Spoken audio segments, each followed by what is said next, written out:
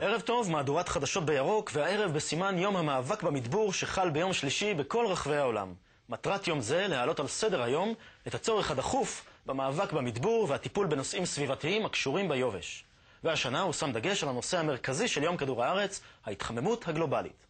קק"ל רכשה מוניטין בינלאומי בתחום זה, מדינות רבות, בהן גם כאלה שאינן מקיימות יחסים דיפלומטיים עם ישראל, משתתפות בדיונים עם מומחים מקק"ל כדי ללמוד על הדרכים להתמודד ואפילו למנוע את התפשטות המדבר.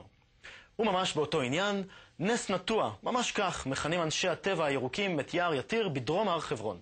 היער הגדול ביערות ישראל ניטע במדבר והצליח כנגד כל הסיכויים להכות שורש ולהתפתח למרות המדבר שמקיף אותו ומאיים עליו.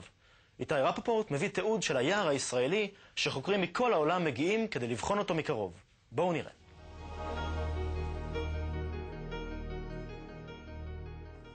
השקים האלה מכסים על מכשירים שמודדים בכמה מים העצים משתמשים, בכמה מים הם שותים מהקרקע בשביל תהליך הצמיחה שלהם.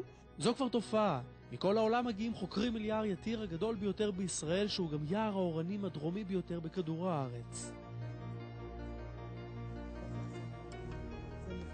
מתברר שהיער בדרום הר חברון הוא הזירה האידיאלית לבדיקת השפעת היערות על ההתחממות הגלובלית. בשפה פשוטה זה בודק מאזן אנרגיה של יער. כמה אנרגיה נכנס ליער וכמה אנרגיה יוצא מהיער. מסקנות החוקרים בינתיים מעודדות. היער הדרומי בעולם מצליח לנצח את המדבר המבקש להתרחב על חשבונו.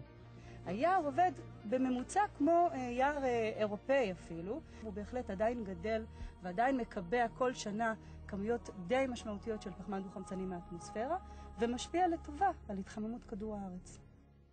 ולפני סיום נספר לכם כי בכל חודש מפיצה אוניברסיטת תל אביב תחזית פריחה של צמחים אלרגנים כשירות לציבור האלרגנים על ידי פרופסור יואב ויזל והגברת ולנטינה אפשטיין.